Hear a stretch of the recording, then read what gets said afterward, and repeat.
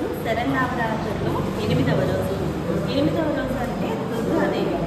దుర్గా అనే పేరు రావడానికి కారణం దుర్ముఖుడు దుర్గుడు అనే ఇద్దరు రాక్షసులు అమ్మవారిని సంహరించడంలో దుర్గా అనే నామకరణం జరిగిందని భావిస్తారు దుర్గాదేవి స్త్రీ శక్తికి స్వరూపం. స్త్రీ అంటే అబల శక్తి స్వరూపం అని నిరూపించిన దేవి మన దుర్గామాత. ఆమె మంత్రము సర్వమంగళ మాంగళ్యే శివే సర్వార్థ సాధకే శరణ్యే త్రయంబకే దేవి అనే నారాయణ మంత్రము ఎంతసేపు ఉచ్చరిస్తే మనకు అంత ప్రశాంతం చేస్తారు ఆమె ప్రసాదిస్తుంది. కావున దుర్గాదేవికి శరన్నవరాత్రుల్లో ఎనిమిదో రోజు అంత ఇష్టంగా అష్టమి రోజున పూజించుకుంటారు జై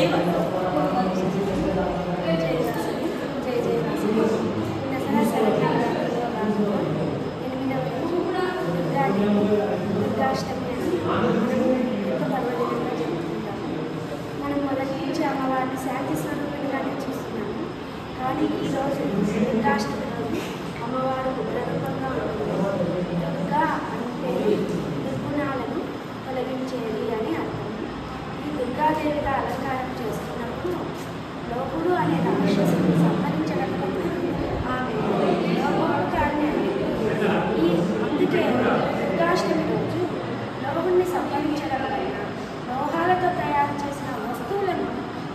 పూజించుకోవడం ఆనవాయితీగా వస్తుంది.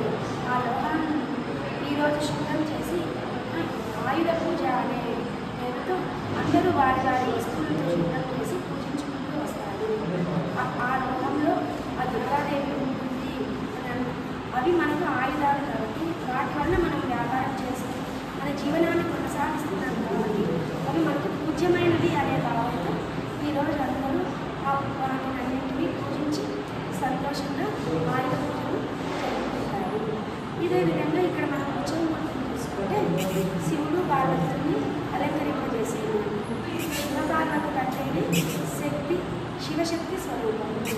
అంతా ఒక్కరే అనే భావన దేహం ఆత్మ ఒక్కటే అనే భావనతో శివశక్తి రూపంగా ఉంటారు శివుడు లేనిదే శక్తి లేదు శక్తి లేనిదే శివుడు లేదు ఈ జగమంతా శివశక్తి మరిది ఇంకా ఈరోజు ఉభయ గారు భీమశెట్టి ప్రకాష్ రాజు గారు మరియు భీమశెట్టి నాగజీవి గారు ఇంకా రాజేంద్ర ప్రసాద్ గారు వారి సత్యమణి ఇట్ట వరలక్ష్మి గారు వారి ఇట్ట నరేష్ గారు వారి ధర్మపత్ని ఇట్ట విజయలక్ష్మి గారు ఇట్ట మహేష్ గారు వారి ధర్మపత్ని ఇట్ట రెడ్డిలక్ష్మి గారు మరియు వారి కుమారులు అందరూ కలిసి ఈరోజు దుర్గాష్టమి పూజను ఎంతో వైభవోపేతంగా జరుపుకున్నాము. అంతేకాకుండా వారి భోజన సదుపాయాలను కూడా వయసులందరికీ కలుగజేసినారు.